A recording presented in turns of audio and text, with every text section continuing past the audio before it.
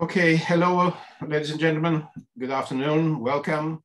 Um, it's uh, this is uh, uh, a, a, discussion, um, a panel that will be conducted in English, since it's part of an international research uh, program.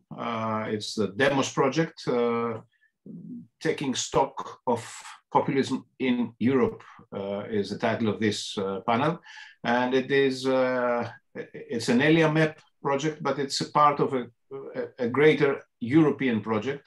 We are going to discuss it. You are free to raise questions or remarks uh, during the conversation. You can do it either by signing and taking uh, the floor or by addressing questions, written questions uh, or uh, remarks uh, to, the, to the panel.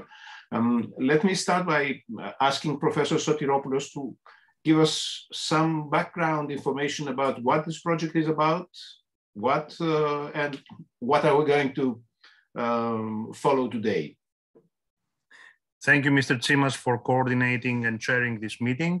My name is Dimitri Sotiropoulos. I'm a senior research fellow at the Hellenic Foundation for European Policy, uh, Foreign European Foreign Policy, and also professor of political science at the University of Athens. The ELIAMEP Foundation is one of the 15 research foundations and universities which try to address the following question. What are the different varieties of populism in Europe? And in addition, what would be the best way to develop democratic efficacy? Democratic efficacy is a term which I will now explain and obviously refers to the acronym of the research project, namely DEMOS. So by democratic efficacy, we mean the possibility that citizens acquire political skills to stand up against threats to democracy.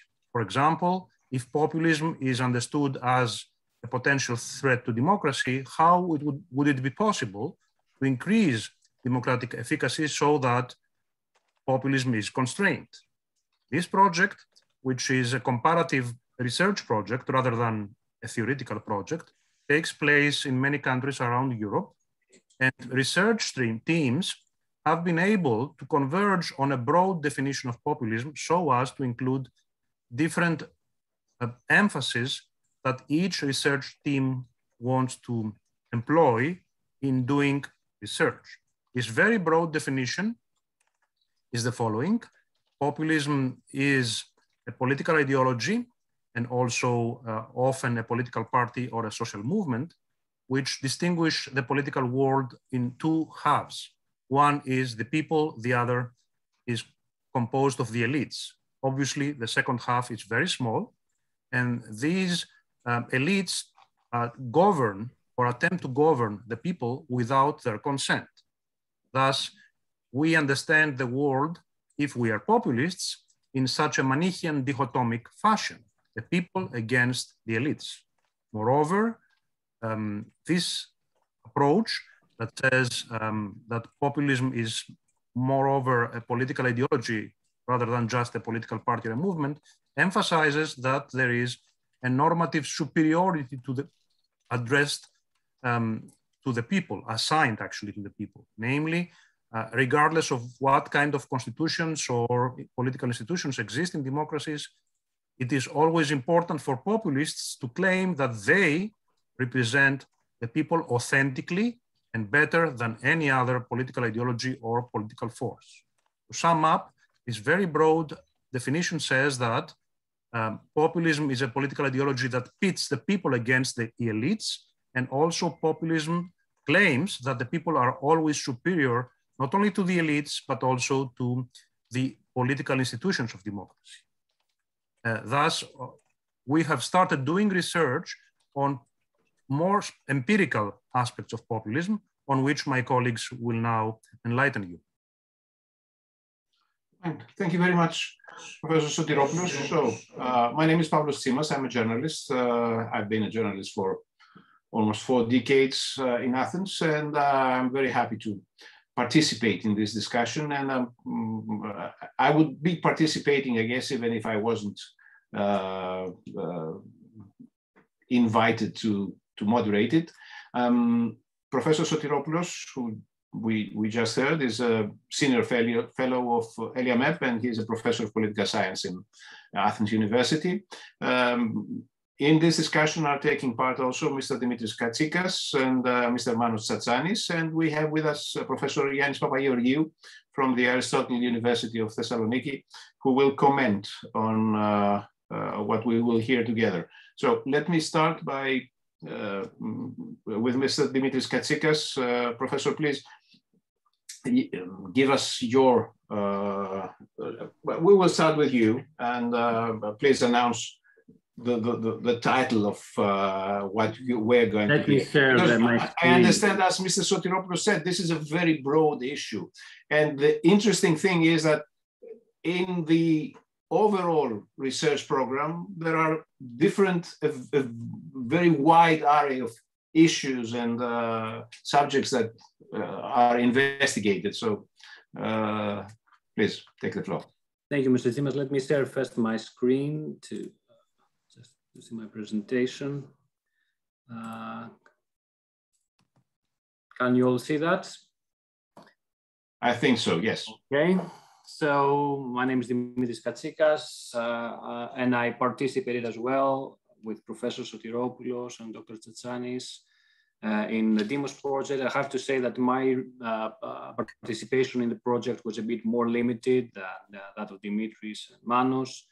Uh, I, I, mainly participated in two work packages, specifically uh, work package 2.5 and 5.2, which both of which relate to the link between populism and public uh, policy. Uh, also, the focus of the work I was involved with, um, it's not comparative like some of the F uh, data and findings you will see later on by my colleagues, but rather it focused on Greece, in the Metapolitefsi era, and mostly um, on economic aspects of public policy, let's put it simply on economic policies in, in Greece during that time.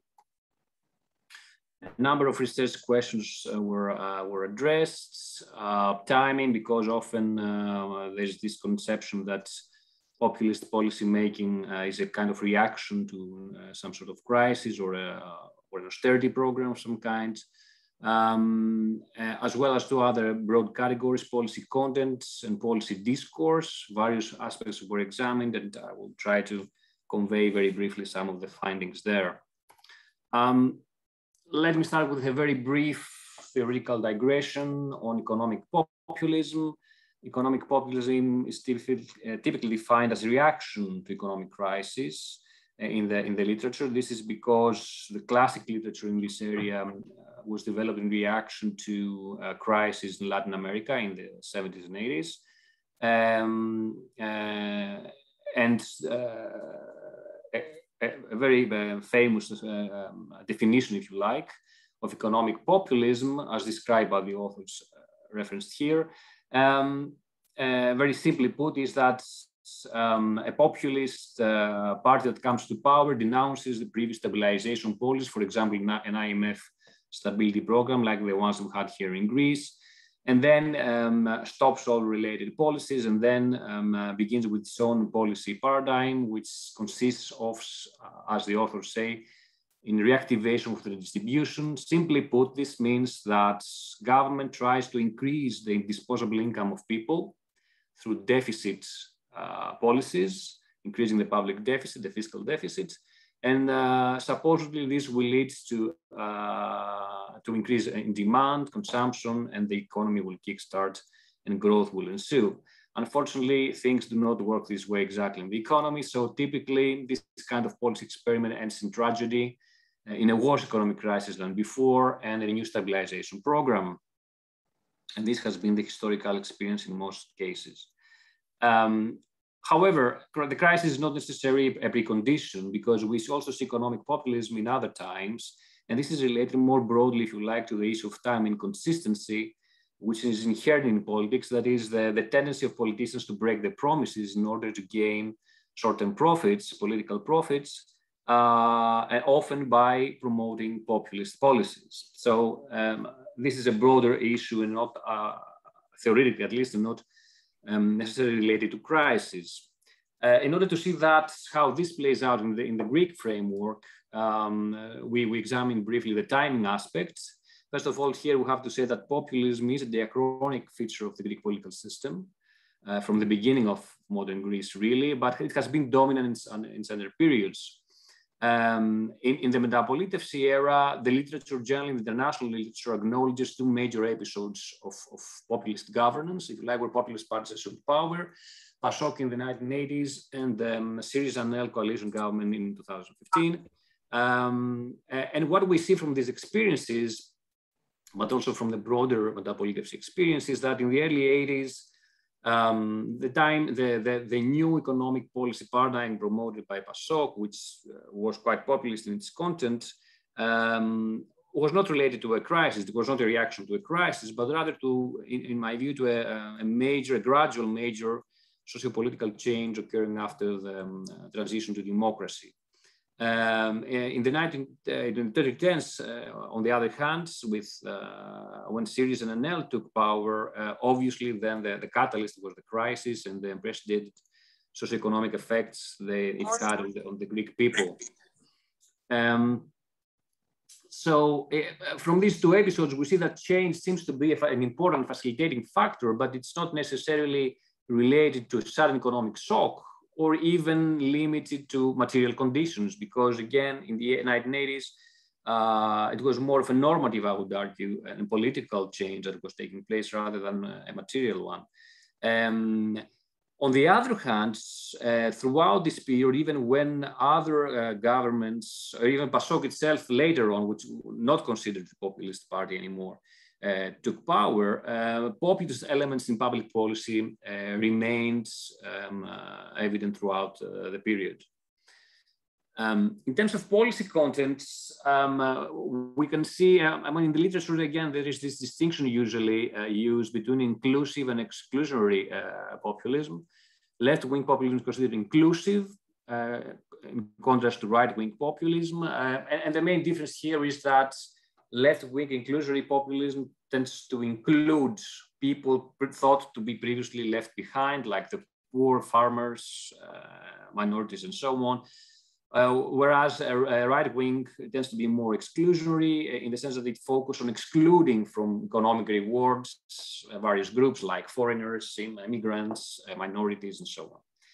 Um, so at, at, the public discourse level, it's quite easy to distinguish the two uh, type of discourses between left-wing and right-wing parties, but often at the public policy uh, level, uh, this is more complicated. So for example, although uh, left-leaning or left-wing or center-left parties like PASOK or Syriza later on um, instigated several um, inclusive, you like, policies, these for the most part throughout the Metapolitefsi era were uh, maintained by New Democracy, which is a center right party, and they were not cancelled by it. So um, uh, both uh, all types of governments, uh, irrespective of ideology, tended to to to, to employ such uh, such policies, and also um, all governments tended to employ some characteristic populist policies. For example, cash transfers in social policy. Traditionally in Greece, governments instead of trying to build to, to, to establish a universal welfare state, they have opted for the tool of cash transfer social policy, which is a, a, tool very nicely fit for populist and clientelistic, another feature of Greek politics uh, purposes. Now, in terms of the consistency of the policy paradigm, this is again, the picture is more uh, mixed if we compare the two eras. In the 80s, the policy, the ideology of the party, the policy discourse, and the actual policy implemented, the economic policy actually were, were in sync, they were consistent. Whereas um, in, in, 2015 and on, uh, particularly after the signature uh, of the third memorandum, the, the Syriza government obviously was a obviously break between uh, the, the, ideology of the party, its discourse, and the policies implemented. And here, uh, it's very interesting to um, to see the role of of the, what is called generally the external constraint in the literature. And here we mean two things: first, conditionality. Uh, I mean, um, Syriza had to operate within a, a memorandum framework and uh, strict um, conditions from the, from the creditors. And also the linkage, uh, as it's called in the, in the literature, um, aspect, which here, which denotes really um, relations and connections to the international environment. Here, really, we mean EU membership and EMU membership. Greece was part of the Eurozone, and that placed its own constraints. So conditionality and linkage seem to complicate things. So uh, the left wing uh, party with a very populist discourse before uh, assuming power was actually not able to implement the policies it, it wanted. Um, very briefly going through some of the other uh, aspects in terms of policy content, there is a cost, a cost to be borne when uh, governments pursue populist policies. In the 1980s, one could say that the burden was mainly borne by future generations through the increase of public debts. Um, and again, also obviously on the private sector uh, through increased taxation, regulation, bureaucracy, uncertainty, and so on. Uh, but it is interesting to note that many of these policies remain intact even under the new democracy government, which supposedly would be more friendly towards business. Um, uh, the, the, the Syriza ANEL government, on the other hand, we, we know and has been the discussion reiterated in the past few days actually, uh, that the, a lot of uh, burden was put on, on the middle class in the private sector through mainly through taxation in the context of the, of the program, the third program. Um, an interesting point also here between the two related to what I said before is the policy break. Again, PASOK in the 80s was able to break with the past in the sense that in the 80s it was able to complete a shift that was already take, taking place in, from the late 70s. The economic post-war paradigm in Greece was industrialization and modernization of the economy coupled with monetary stability. This changed, started to change after, uh, after the mid 1970s, and it was completed this uh, change and embedded uh, in Greece with uh, PASOK in power. Um, the new economic policy paradigm was based on redistribution, basically, and a strong presence of the state in the economy. Um, on the other hand, Syriza um, was not able to, to, to, implement a major break with the previous policies, uh, since it had to sign and implement effectively uh, a memorandum and implement policies that it had been denouncing up to that point. Now, the governance is, can be related to some aspects of the policy discourse and the communication style in particular. So both the governance and the communication style of the policy in the 80s where it was more emotional, embedded broader and socialist narrative, non-technocratic, except perhaps in crises like the 1985-87 um, uh, interlude. Um, and uh, something similar happened, obviously, during the crisis, even more so because of the crisis, some aspects um, and this continued, the discourse continued this way by Syriza even after assuming power, even after um, signing the third memorandum. Uh, but obviously there was a break with reality there. Uh, so um, the rhetoric that was developed was that we, we have to implement this program, but we do it in a way which tries to, to stay faithful to our, our, our objectives and our uh, promises. So, for example, we, yes, we, we impose high taxation, but we did it in a way that burdens the rich and provides relief to the poor. um, whether it was convincing or not, this is another, another issue. Uh, and of course, polarization is common in both periods. Polarization, again, is a structural feature of the Greek political scene. And um, polarization is actually very linked very much to the core of of populism as uh, Professor Sotiropoulos described it, this Manichean kind of uh, conception of politics where two parts uh, conflict with each other, the people and the elites. So concluding very briefly and um, a number of research questions for the future, populism is a complex and multifaceted phenomenon. We see it in Greece in the same country at different periods, even with similar parties in the sense that it comes from the same side of the political spectrum, we see significant differences. Crisis and change more generally seem to be sufficient, but not necessary conditions to provoke uh, populist policy, public policy. In Greece, populism has been a constant feature of public policy, irrespective of different governments' ideological profile, but it has become dominant primarily were coming from the left, um, populism fits polarization, uh, which is another structural feature of Greek politics. Um, because I'm running out of time, so uh, in terms of research questions for the future, I would like to focus on the first and the last, which are related, which is, as I said, as I mentioned before, uh, uh, during the crisis in the Syriza ANEL government, obviously there was the external constraints seemed to be very effective in limiting the ability to pursue populist policy making. This, on the one hand, can be considered a good thing because these constraints uh, averted uh, perhaps catastrophic policy choices like the ones we saw in Latin America. On the other hand, there's an obvious uh, um, conundrum here and a conflict with liberal democracy principles in that a, a government that uh, has been democratically elected has to be able to implement its policy agenda for which it was voted. So how do you reconcile these things? This is also uh, an issue raised by Rodrik recently, uh, where he said that, you know, in economic populism, there may be some legitimate demands in the sense that there are some real problems, for example, too much austerity, uh, which needs to be accommodated. And the challenge is how to do it without resorting to populist policymaking. Can we do it in a way which is, you know, does not derail completely the economy and is not, does not obey a populist logic while trying to address the real problem underlying populist, populist rhetoric. Um, I will leave it here. I'm happy to discuss some of these future research questions later on in the, in the event. Thank, you. thank you very much, Professor Katsikas. That was very interesting. And it was, uh, oh, it's always interesting to make the, the, the, the comparison of the two uh, distinct Greek uh, political experiences in the 80s and uh, after 2015 um, I, am always interested by the question, which is a needs a completely different set of discussion. How does uh, a party that governs in, in a populist framework manages to land outside its uh, populist uh, rhetoric?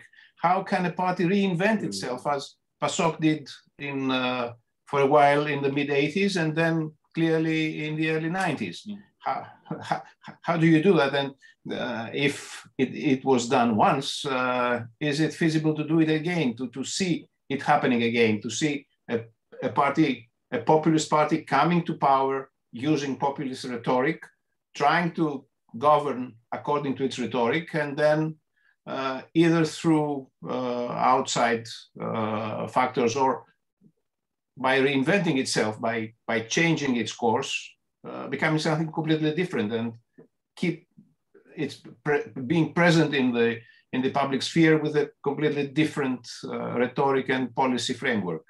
I think this is always a question that is interesting in the, in the Greek national debate, but I also think in the European uh, debate also. Well, okay. Um, I, I, keep my remarks myself and I uh, pass the uh, to to to uh, Manos Tsatsanis, who is a research fellow taking part in this research program. And I, I understand, Mr. Tsatsanis, that you are going to focus on communication issues, right? Yes, indeed. Uh, I'll try to share my screen as well.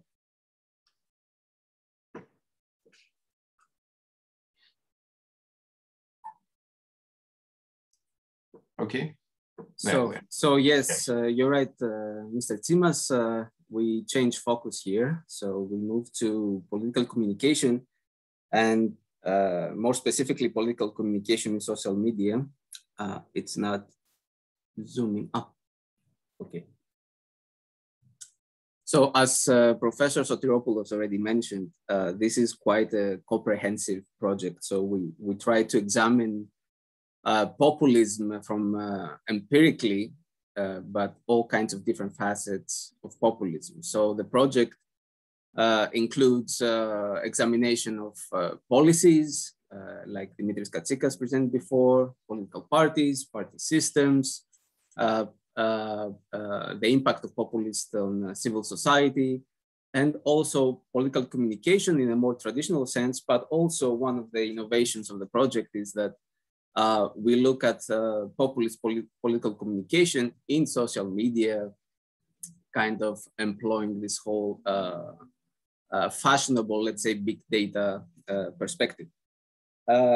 So um, this is from one of the earlier work packages. I mean, Demos has, if I recall correctly, about 11 different work packages. We have, there are 15 different national teams collaborating and this is part of the second work package. Uh, and unlike uh, the work package that focused on policies, which uh, primarily used case studies to analyze the populist social policy or, or policies in general. Uh, this uh, this um, uh, package adopted a more methodologically more comparative perspective. So we don't have case studies. We have a kind of um, collaboration between the different national teams to to give a, a, a, big picture of political communication in social media across Europe. So the name of the of the work package it's is called predictably manifestations of populism uh, uh, and uh, focusing on discourses. So, like I said, the research examines populist communication uh, in 14 different countries uh, using the Facebook platform uh, and for a period that focuses before and after the, the, European elections of 2019. So the, the broad aim was to analyze both quantitatively and qualitatively uh, social media communication of select, uh, selected populist actors.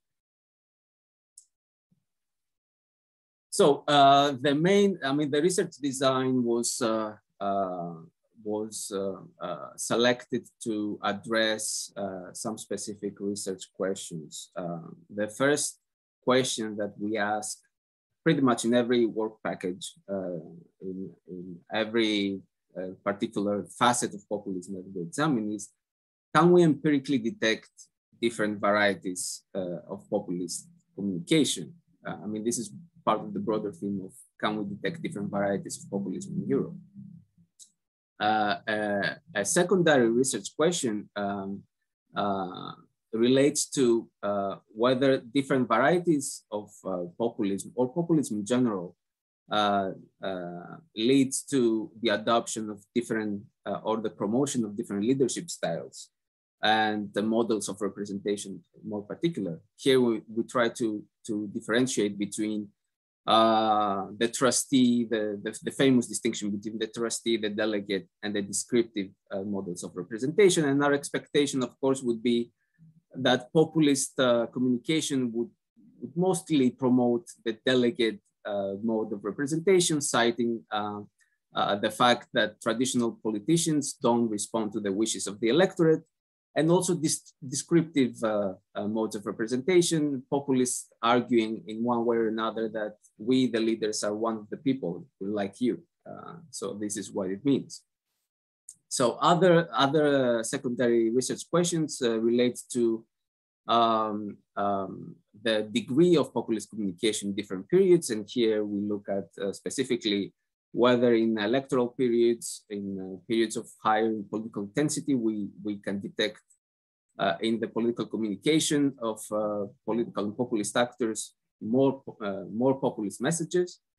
And uh, another one is whether uh, populist communication is mostly directed at the domestic level or at the European level. We have to remember this, this research was conducted around the time of the European elections in 2019. Now, uh, a, a, side note about uh, anyone who's familiar with uh, the literature on populism knows that there have been definitional battles for decades, know, scholars trying to define what populism is.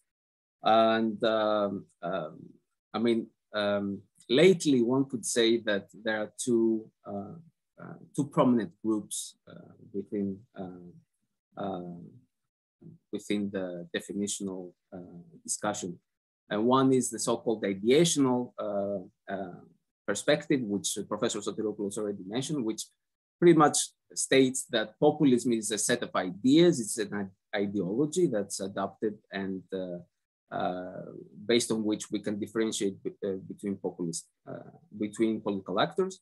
And the second one is that populism is really a communicative style. Um, the difference is in the unit of analysis, really. In the first case, we look at political actors. In the second case, we look, uh, we zero in uh, on, um, uh, on the message. And this implies that populism can exist uh, to different degrees, and uh, all political actors can be populism uh, to one degree or another. So uh, in this work package, we, we also employ this, this second perspective, the second definition of populism as a communicative style uh, and not just an ideology. Um, so uh, just briefly about the data and methods, I won't go into too much detail. I should say here that uh, a very detailed report of our, of our findings for this work package uh, uh, have been uploaded to the demos website. So uh, anyone interested in finding out more details about the research design, uh, uh, the findings and so on can download the, the report from the demos website. Perhaps later on we can give the URL address to anyone who's interested. So uh, um, what we did to examine Facebook posts is that we uh, collected uh, uh via um, uh, web application, uh, web crawling application posts from uh, populist leaders in 14 different countries. Uh, here it's, uh, I have included here a list of the countries that we looked at. Um, for each country, each team had to select two different leaders. So we gave priority to the Facebook pages of, uh, of populist leaders. And in cases where uh, a, a, populist leader did not have a personal web page, we looked at uh, the official party page uh, on Facebook. Uh, as I said before, we, um, uh, we collected data from two different 14-day periods. One was right before the European elections in May 2019. Uh, and uh, a second one after the elections in what we, each national team deemed to be a non-electoral or a post-electoral period. Uh, and all the teams were uh, then we used a, a, a very uh, detailed coding procedure in order to produce both quantitative and qualitative measures of the populist populist mes messages. So uh, here I'm just going to refer because there are many subcategories and variables. I'm just going to uh, highlight three, the three main categories that we looked at when coding for uh, populist uh, messages. Uh, the first one, this follows uh, actually quite well the, the traditional minimal definition that Professor Sotiropoulos and Dimitris Katsikas have already talked about. Uh, so more or less uh, appeals to the people and the understanding that uh, uh society is divided between two camps, uh, between a homogeneous notion of the people and the corrupt, or let's say the, the elites that are always perceived in a negative light. additionally, apart from these two facets, we, we also included um, uh, a, a, more thick version of populism, as we call it, one that includes um, references to negative res the references to other groups that are excluded from the construction of the people.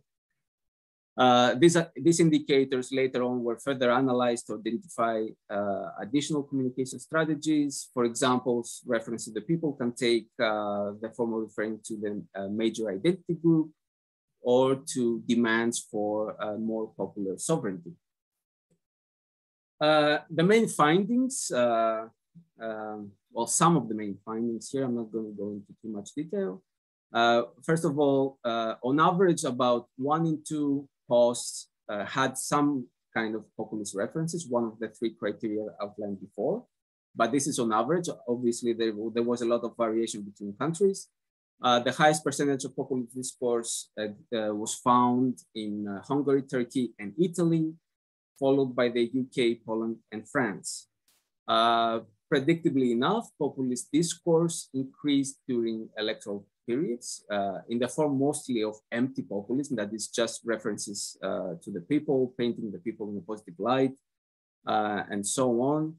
Uh, empty, the combination of empty and anti-elitist populism was found to be more common in several countries with significant left-wing populist parties such as Spain, Greece, and France, whereas uh, um, uh, exclusionary populism and emphasis on group identity was more common, uh, common in post-communist countries like Poland and Hungary, or countries uh, with strong right-wing populist parties uh, like the UK, Italy, and Denmark.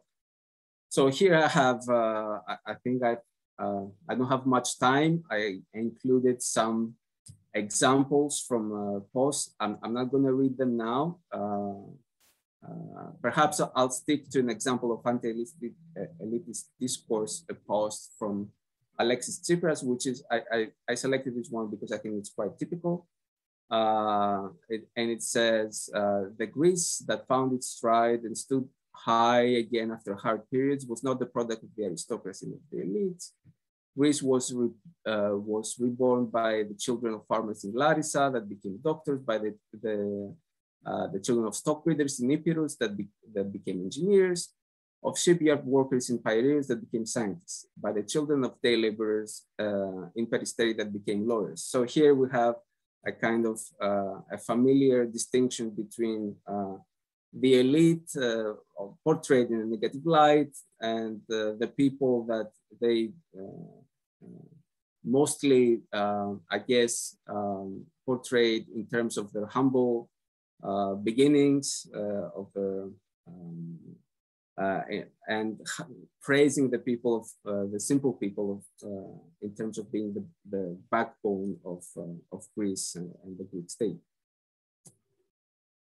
So, okay, I'll just uh, move right to uh, the conclusion. Some, I mean, to list some of the key findings uh, of this research. First, we as we expected, perhaps there is no uh, single online populist strategy uh, across Europe. Uh, the frequency, the tone, and the topic uh, of social media usage by populist actors differs from country to country, uh, actor to actor, uh, even though, as I mentioned before, some rough ge geographic patterns do emerge, like Southern Europe versus Eastern Europe and Northern Europe. Uh, national elites, uh, national contexts, of course, are always very important in determining the different communicative strategies that are adopted. National elites are more frequently mentioned than supranational elites, uh, despite the first sample being uh, drawn from uh, a time around the European elections. one other very interesting finding is one of the common threads across populist discourses uh, was a strong current of uh, uh, Euroscepticism and anti-European sentiment. Uh, this uh, uh, more or less corresponded to all different subvarieties of populism.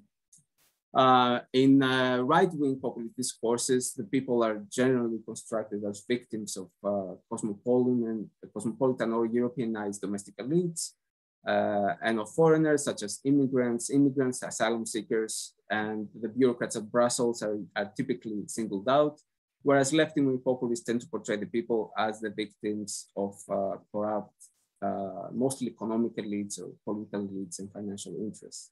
So there is an emphasis, whereas uh, in right-wing uh, discourse, there's an emphasis on identity. In left-wing populist discourse, there's an emphasis on economics and uh, inequality. Uh, so I, am just gonna stop here mentioning that uh, further research in the sixth work, work package uh, uh Uh, uh, complements this research by looking not just on the content of, uh, uh of the populist communication, but also see how different populist actors form networks in online space and I mean, who they relate to, uh, what type of other actors reproduce their message, and so on and so forth. We're still in, uh, this is still a work in progress. So by the end of the project, we're hoping to uh, develop a more co comprehensive and, and fuller picture that brings the, the, disparate elements together. Thank you very much. Thank you very much, Mr. Tsatsanis. I'm looking forward to that because you, you were trying to make sense and um, find a pattern uh, that uh, make sense out of this huge current of populist use of uh, online communication. So uh, I would be very much interested to see uh, the end of this uh, research program and the, the, the, final outcome.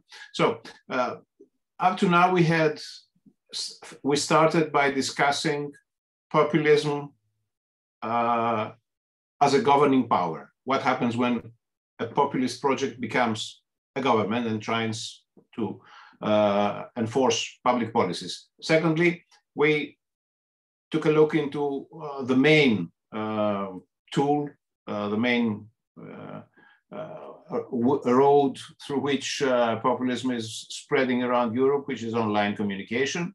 Now, I, I, turn back to Professor Sotiropoulos. I understand that he is going to talk about the what the, the, the, the what happens when specific social groups are targeted by populist rhetoric or by populist action. This is the result of a focus group, focus group approach. So, uh, Professor Sotiropoulos, I'm turning back to you.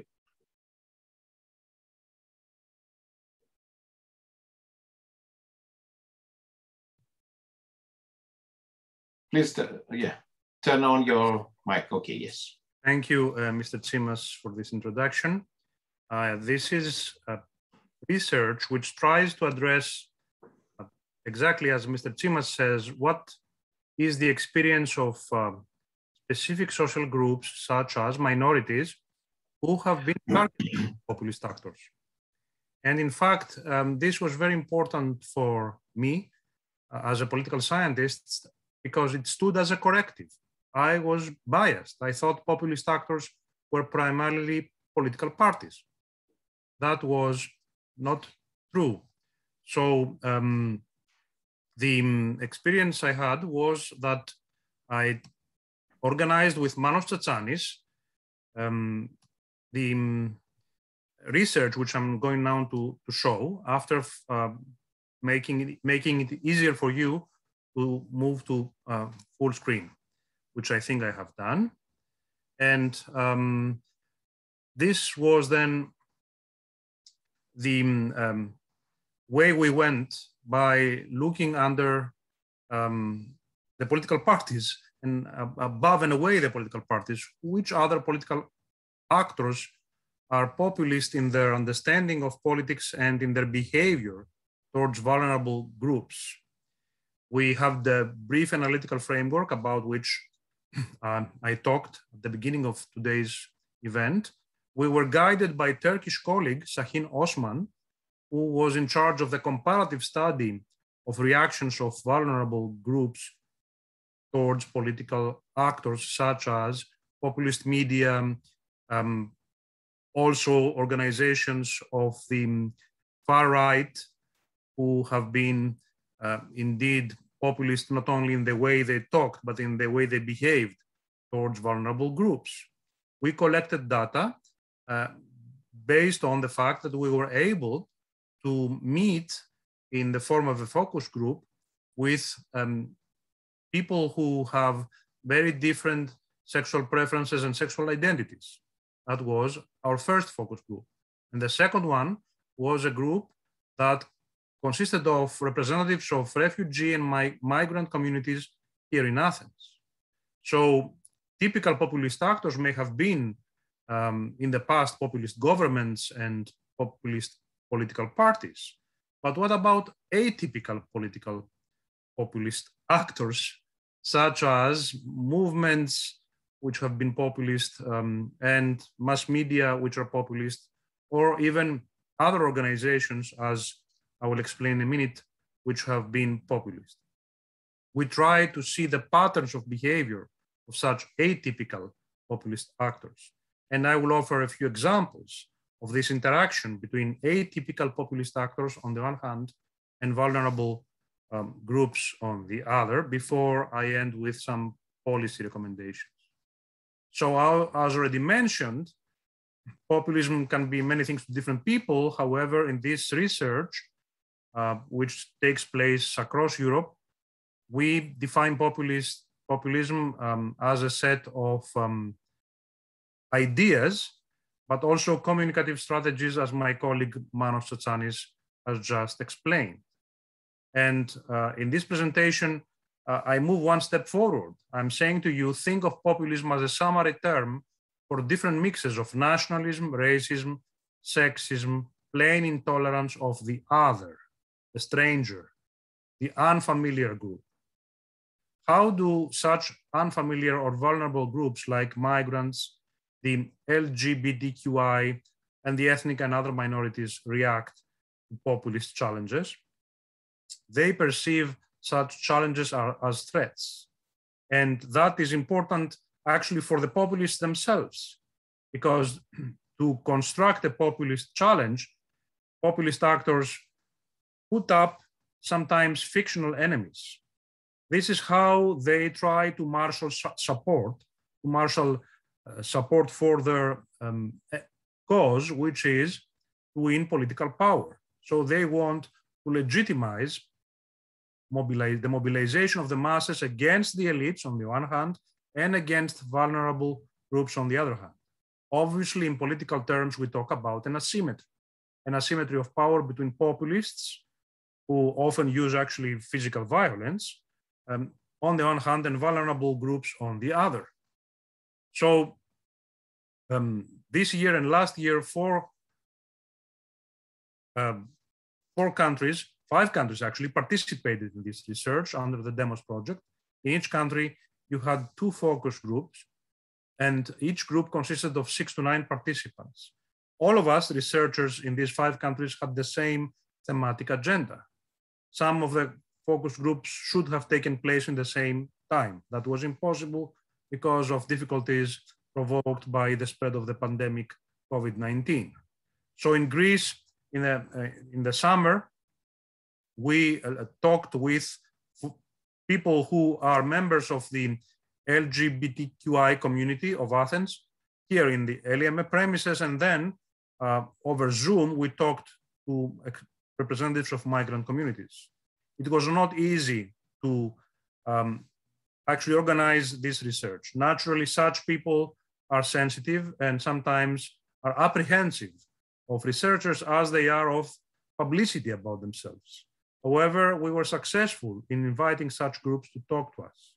And we received guidance, as I said, by uh, a Turkish colleague who is in charge of this particular task of the wider Demos project. So initially, one would have thought that um, our discussions would have centered on how populist governments have functioned, um, the Orban government in Hungary and the Erdogan government in Turkey. And that was correct actually in research conducted in this very same way in other countries. Uh, that is through focus group research in other countries like Hungary and Turkey, we did have the opportunity, our colleagues had the opportunity to see how vulnerable groups reacted to populist governments. In Greece, we had focus groups which talked to us about the threats they felt that were coming from the side of the Golden Dawn, which were physical threats sometimes, but also the political rhetoric of other populist parties like the uh, ANEL. In uh, the UK, the context was very different. Populist rhetoric was marshaled uh, in order to win support by parties like the UKIP and the Brexit Party. Along the way of conducting these focus groups, we found out that our interlocutors pointed the finger towards also state administrative authorities in this country, in Greece. For example, public employees in certain public agencies who uh, imitated or replicated the populist rhetoric, but also the church, the press, social media activists, and informal populist groups. The idea was that um, such um, authorities, but also populist groups threatened the vulnerable groups through exercising physical violence, spreading hate speech, exercising indirect pressure on them in their working environment, preaching in public, but also campaigning through social media. What members of the focus groups told us, and that indeed scared them a lot, was that at a certain point in the last decade in Greece, such aggressive populist behavior was considered normal. Hate speech was not only confined in the chat rooms or in um, certain populist groups that were hostile towards uh, people who had different sexual identities. Or um, it was very normal to think and even express yourselves uh, in hostile terms against migrants. So what they said, what focus groups participants said to us was that there was very wide diffusion of nationalist, racist, sexist, and other discriminatory discourse. We do have evidence from other research which has been conducted in Greece on this, but it was really impressive to listen to such people who themselves had been targeted, less so physically, but often verbally, by populist actors. And indeed, uh, we have found out that it is not only the populist actors who disseminate um, populist rhetoric and make it sound like normal, but it is important to think that such populist rhetoric is tolerated. It is tolerated by authorities. It is tolerated by groups or media which themselves are not popular. So what we talk about is toleration, if not cover up, of populist actors in the middle and the low ranks of state administrative hierarchies. There were examples of this.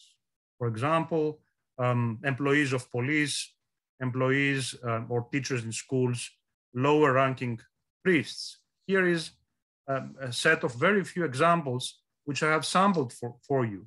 A sub-Saharan student, um, actually a student of Greek university who came from a sub-Saharan country, wanted to enroll because he was admitted to a Greek university and he had difficulties.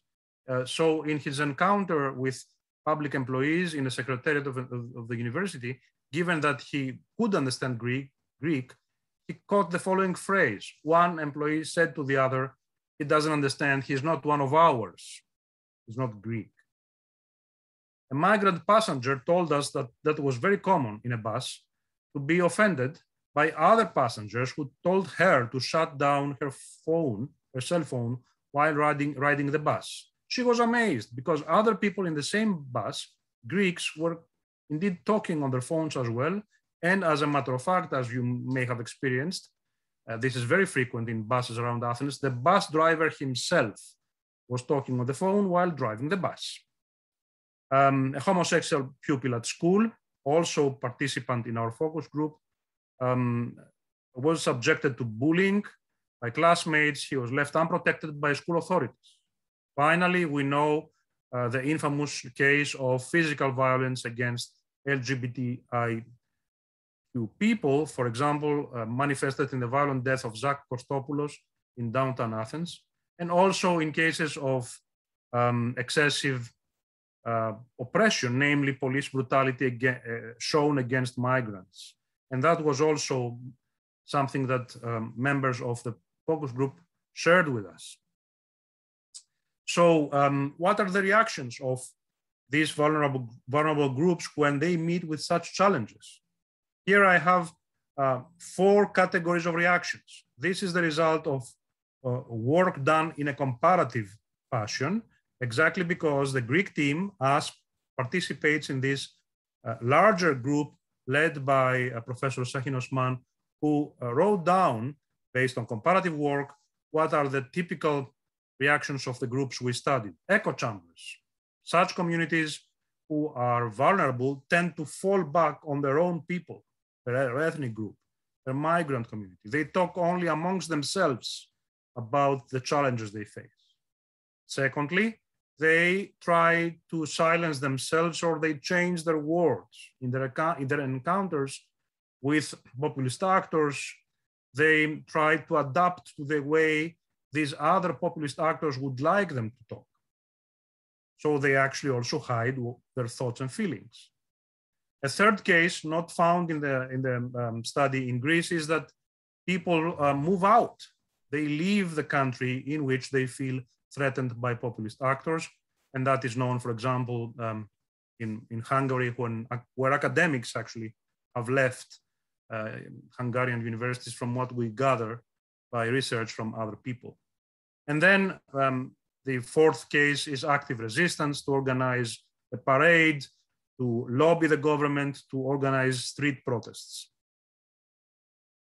So um, what we see is that there is a possibility of self-organization of vulnerable groups, and that is a policy recommendation. We need, however, also to think of other policy measures.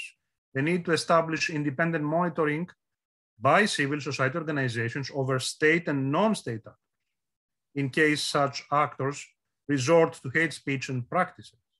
We need the state to step in and give assistance to vulnerable groups through training them on how to become recognizable rather than invisible or silent, and how to lobby authorities. Of course, we realize, and I end with this, that always we have to keep a delicate balance between sanctioning law violating populists and safeguarding freedom of expression, but we need to think of the freedom of expression of the victims of populists as well. Thank you very much.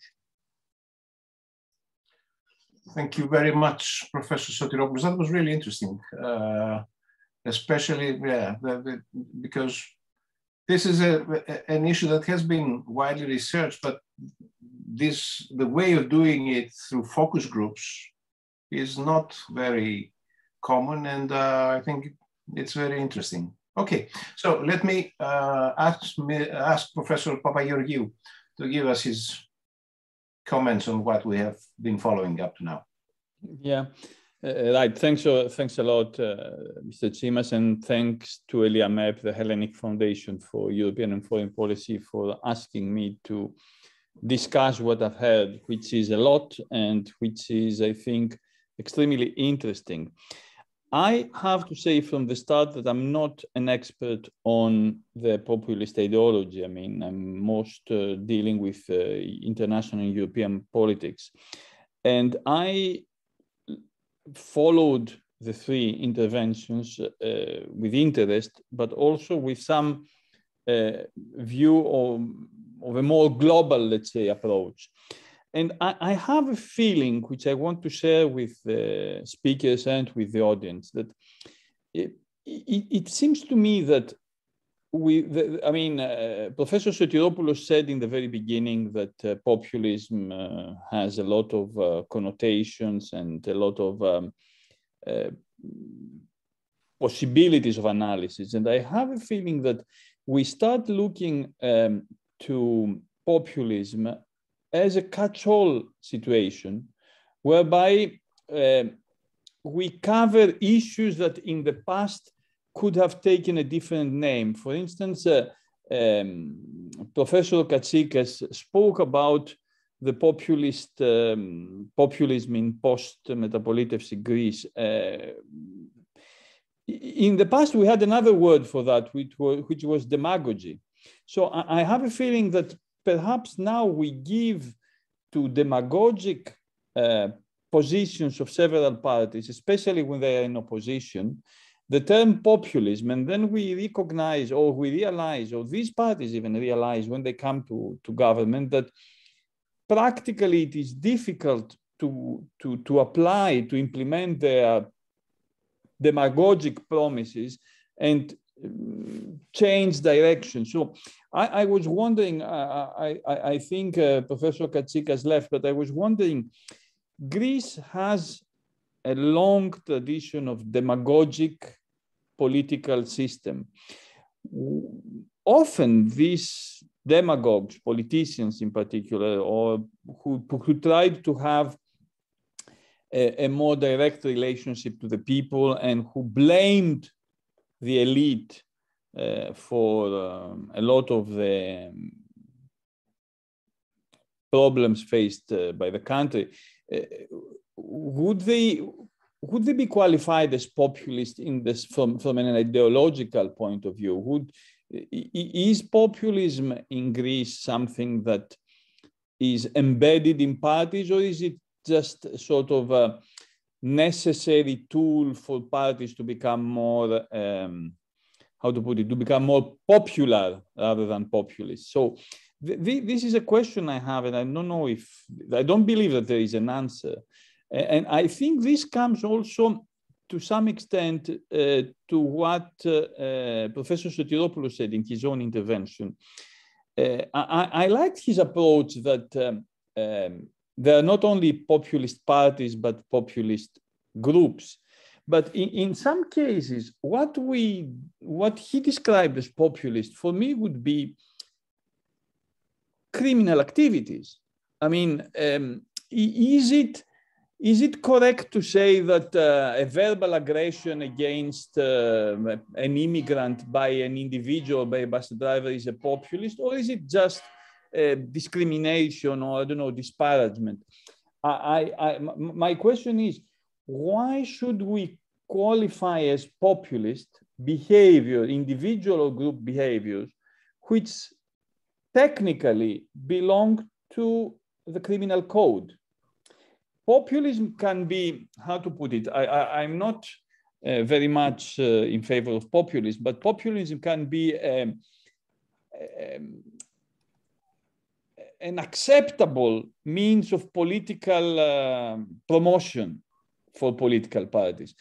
If we try to integrate into populist uh, policies the aggression on, an, on a homosexual by some persons, I, feel that we, we go beyond the, the, the limits that uh, we could, what is the, the ideal, um, let's say not ideal, the, the ideological uh, uh, reading of populism. So I'm, I'm a bit worried that we try to, to introduce into the, a term which has the pros and cons, but is, is basically used to qualify political parties, behaviors, group behaviors, which can draw on populist parties obviously, um, to go back to the Italian case, Salvini allowed, I mean, the, the discourse of Salvini was, um, of the Lega, was a way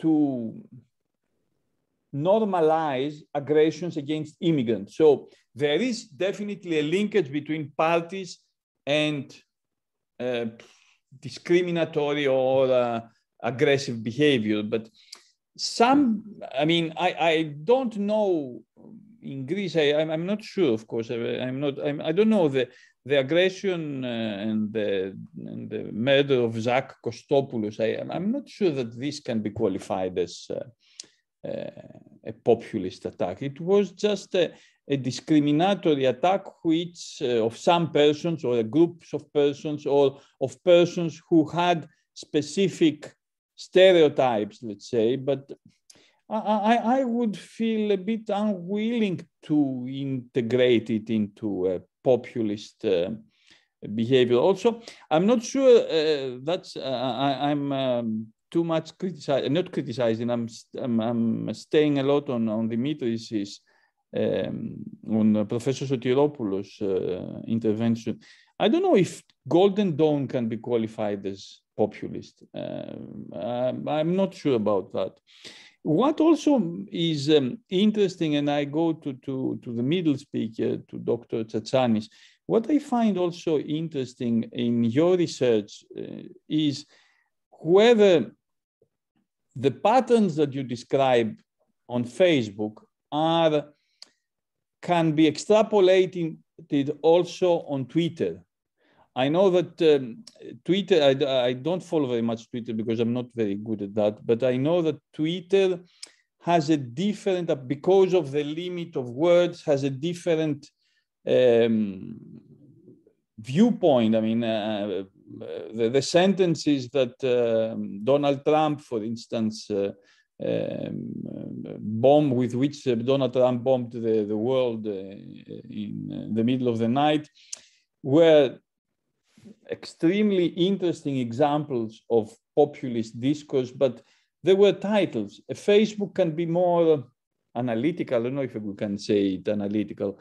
And I, I, I followed a little bit the Twitter. Um, I don't know if he had, he probably had a Facebook. I was working on Brexit, so I followed a little bit Nigel Farage's um, approach to that. And it is a very interesting use of words I mean, Farage is a Farage was a journalist, I think, in uh, his previous career, and he had a very good grasp of sentences of the of the language and also of the um, of the double meaning of words. And I think that would be it would be an interesting uh, analysis to see if there is a a difference in Twitter or even in these even newer uh, forms of uh, um, of uh, social media this is mostly my my remarks, questions and remarks, I think, and uh, I would like to have the point of view of uh, colleagues.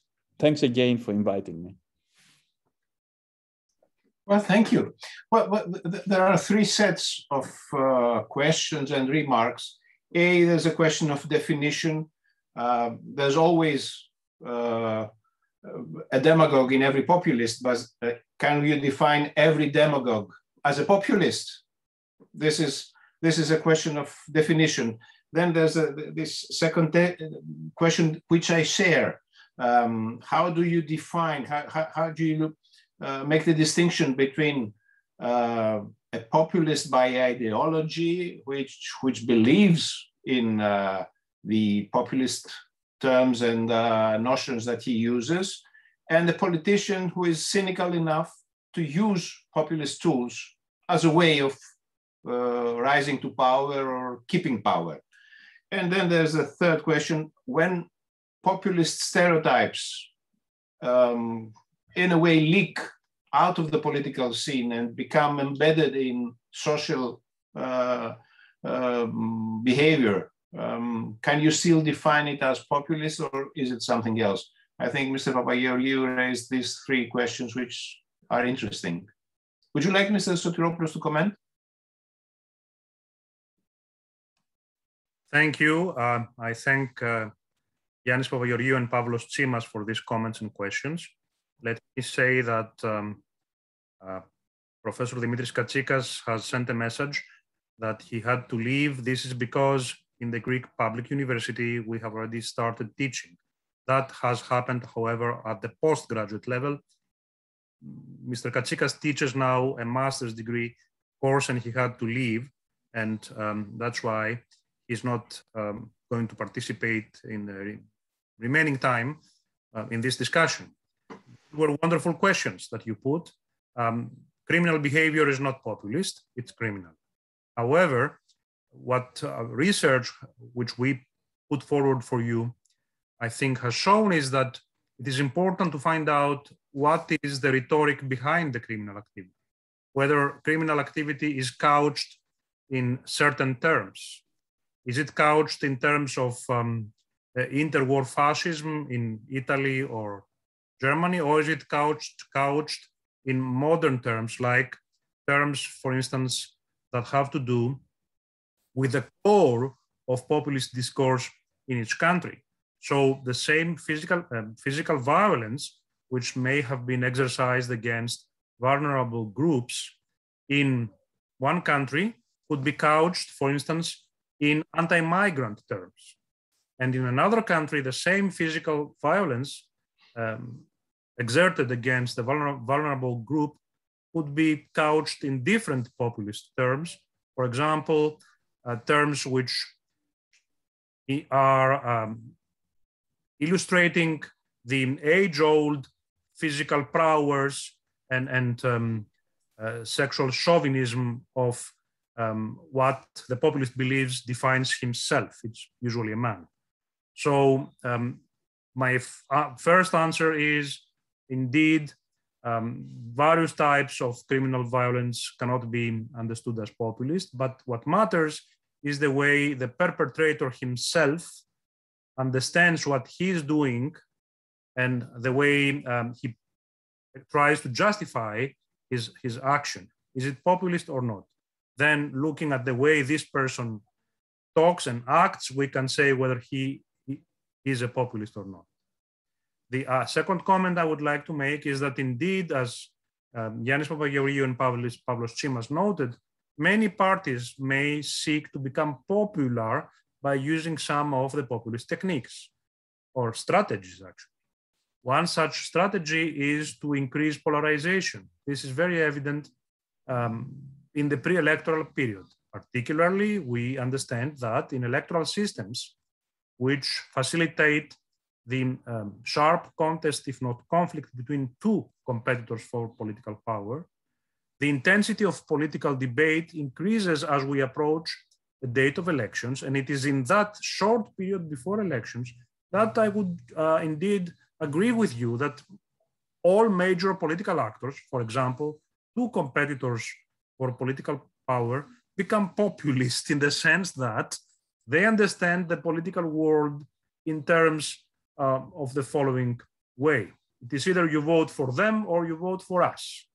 I think many important non-populist leaders, for example, leaders of centrist parties or conservative parties, um, which have competed for power in Europe in various democracies exactly before the day of elections made the contrast between, between them and their competitors very sharp, almost in populist terms. However, I would like to backtrack now from this statement.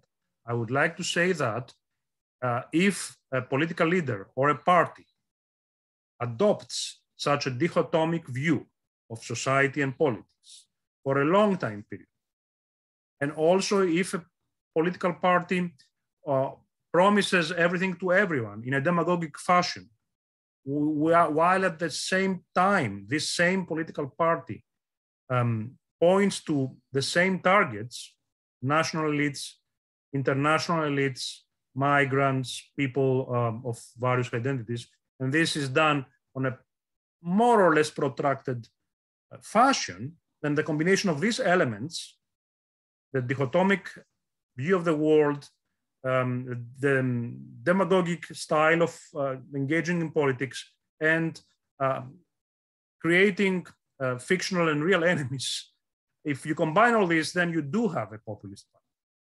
Um, and that is something I would like to, to uh, argue, not today, we don't have much time, perhaps on another occasion, because you can even trace populist policies, as my colleague Dimitris Katsikas has argued, after a populist party comes to power. The populist party in power, and I will not be long on this, continues this tactic of uh, making every um, bill of law as um, a, an opportunity, turning every bill of law as an opportunity to wage a global like struggle against the forces of evil. Even after rising to government, populists pursue the same strategy, challenge the same targets, and so on and so forth. Um, finally, it is, it is true that um, if you, um, for example, meet someone who uses hate speech, uh, on a bus, that is not really um, enough of evidence to call him or her a populist, but it is a sign, and that was the gist of the argument I tried to make, that for some time before you met this person, it has been normal in society to think of social relations in populist terms, in terms of hate, aggression, um, and also vulnerability, vulnerability of, of certain groups which um, we think not we think of, of being alien, um, not Greek enough, not normal enough. So my argument about populist rhetoric is that it becomes um, a vehicle on which, after a certain threshold, not only populist actors but non-populist actors ride and make populist ideology sound normal. Thank you. Well, thank you. Uh, Mrs. Tsatsanis, would you like to comment on? Yes. Uh, so I, I'll just. Uh, uh, I agree with uh, uh, many of the answers uh, that Professor Sotiropoulos gave. Um, but I, I, also have to acknowledge that the, the, questions raised by both Professor Papageorgiou and Mr. Tsimas are quite valid and uh, they're actually uh, quite prevalent uh, in the literature also. I mean, uh, one of the main problems of studying populism, especially in the past, was uh, that uh, many researchers understood populism in different ways based on their regional or national experience. So they, tend they tended to define populism according to the movement, party, or political actor that uh, they examine in uh, um, their particular place of origin and in, in, a, in a particular time. So for example, uh, in Latin America in the 80s, uh, populism meant, uh, wasn't conceived as an ideology, it was conceived uh, as something that uh, related to organizational characteristics of a movement, focusing on charismatic leadership. So if there was a charismatic leader, that uh, wanted to do away with intermediary institutions. Uh, a, a, group of scholars called this populism. Uh, another group of scholars coming from the economics discipline, looking again at Latin American populism, uh, uh, define populism as uh, maximalism in terms of overpromising, in terms of irresponsible economic policy. So they looked at, so we have an ontological problem here, right? Different people looked at what can be loosely called different um, populist actors and movements and gave different definitions and understandings of populism. Uh, we reached a point that several scholars uh, said that populism, if it means everything, uh, then it means nothing and we should unbutton the concept altogether. A compromise uh, that uh, was reached, and I think that right now is the most influential, it's not the only, but it's the most influential understanding of populism, is this minimal definition of that we look at the bare bones concept of populism, which is a set of ideas, like we said, that of perceiving society divided into two major camps, of a bad, corrupt elite and uh, uh, a single, uh, unified, homogeneous people that is also virtuous. So this is how, I mean, Cas is, is very famous for providing this definition and the benefits saying that, you know, uh, this definition travels well and it, and it captures different manifestations of populism in different times and places. So the second question that you ask is how useful is this? Uh, I mean, can we explain uh, phenomenon by using uh, old terminology? I mean, does it uh, add something uh, to our understanding?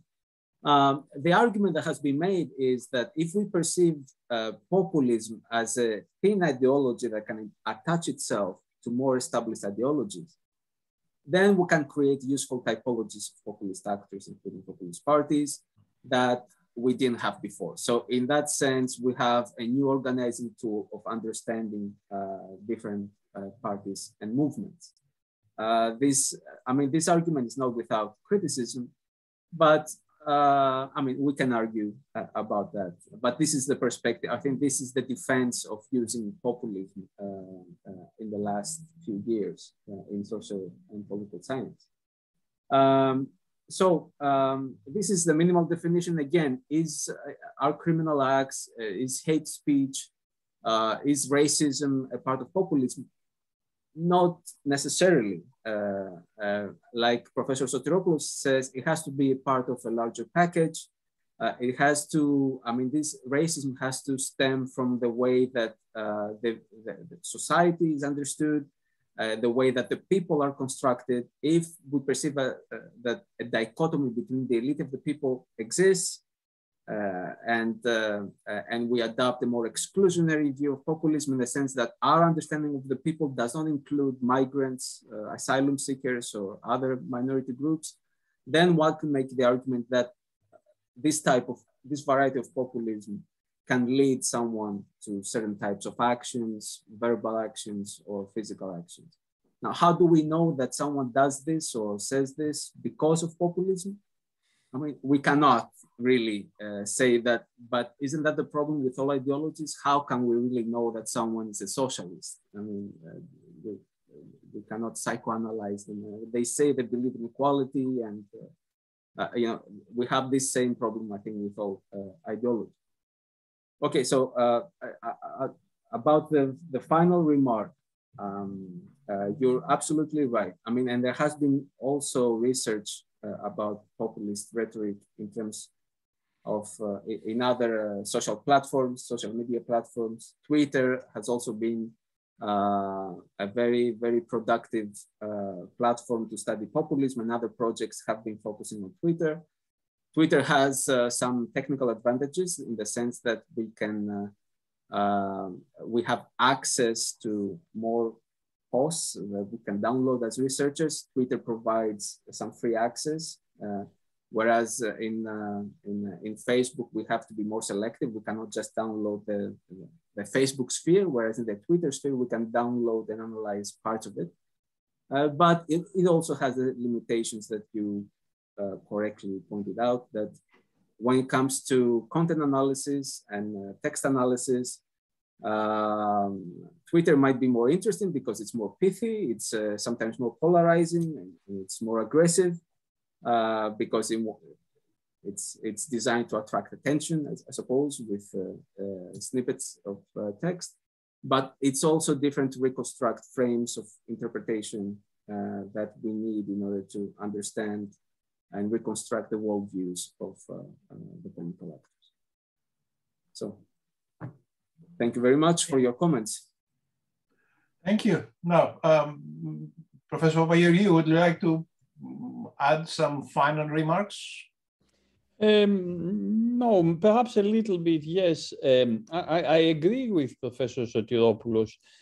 Uh, Bob, how to put it? Uh, it? It's the chicken and egg a little bit situation. Populist behavior allows for an easy rise of populist parties, and populist parties instigate populist behavior.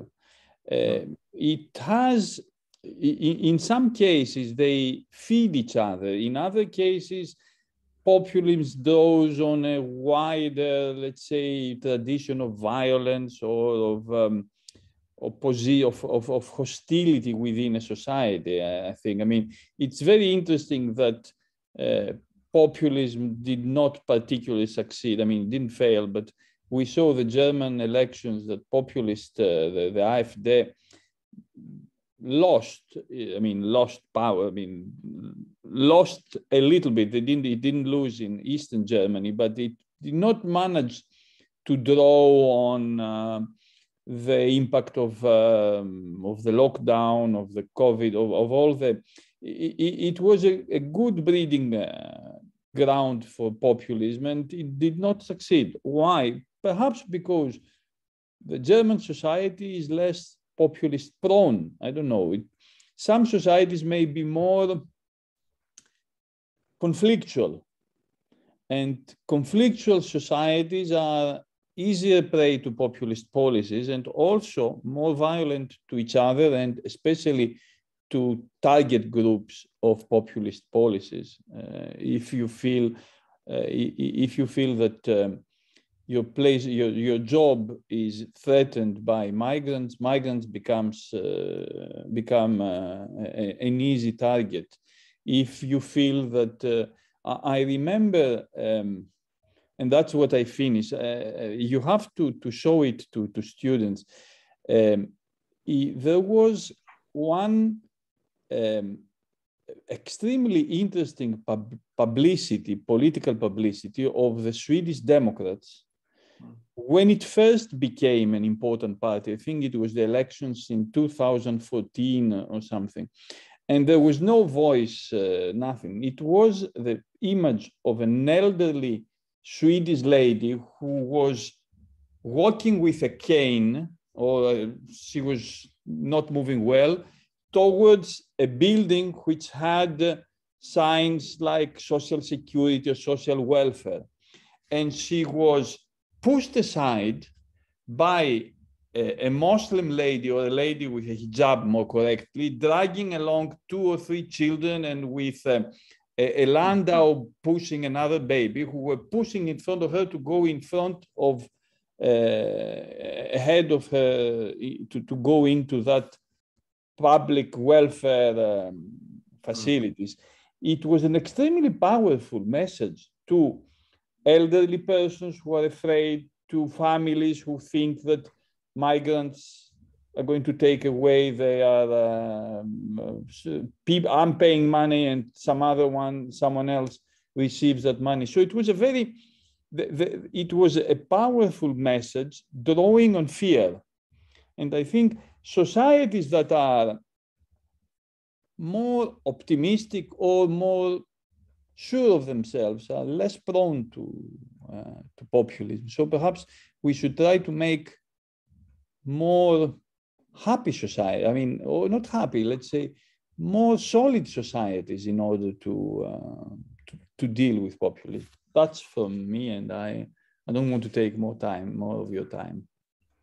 Okay, thank you. Yeah you made two very interesting remarks. A, that populism uh, is um, has a better chance in conflictual societies. So we have to look at that. And then that uh, a society that is optimistic, that is, and uh, in other words, I would say when the, the especially the middle classes of a society are upwards uh, moving are, or hoping to move upwards, there is not much room for for for for populists to to to to, uh, to gain ground. But uh, when uh, societies are becoming pessimistic, when people have, are fear the future is a factor of fear for ordinary people, then populism has a chance. I mean, these are very interesting and uh, remarks. I think we have run out of time, so I have to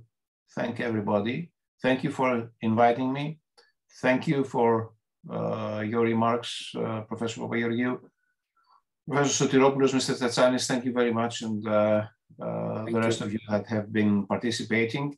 This would be available in, I guess, in some time from now online, and so uh, those who haven't been able to attend today but uh, would like to follow that will have the chance to do it in the coming days. Okay, thank you very much. Thank Thanks you. a lot. Bye. Thank you. Bye bye. Take care. Thanks a lot. Have a nice afternoon.